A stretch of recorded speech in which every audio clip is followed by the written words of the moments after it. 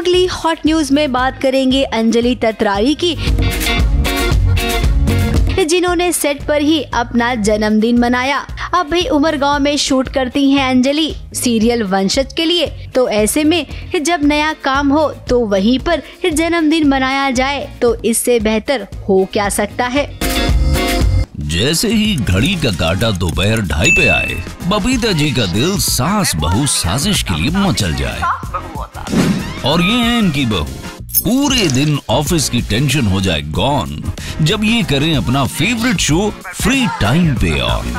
इनकी तरह, आप भी देखिए अपना फेवरेट शो अपने टाइम पर। और डाउनलोड कीजिए एबीपी लाइव ऐप अपने स्मार्ट टीवी पर।